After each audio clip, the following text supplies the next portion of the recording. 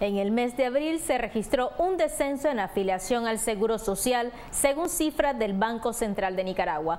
Los registros administrativos del INS indican que tienen a 878.500 asegurados, mostrando una baja del 3.9% con respecto al año 2017. Asimismo, se observó que el salario promedio nominal de los afiliados se ubicó en 10.874 córdobas, registrando un crecimiento interanual del 8.4%.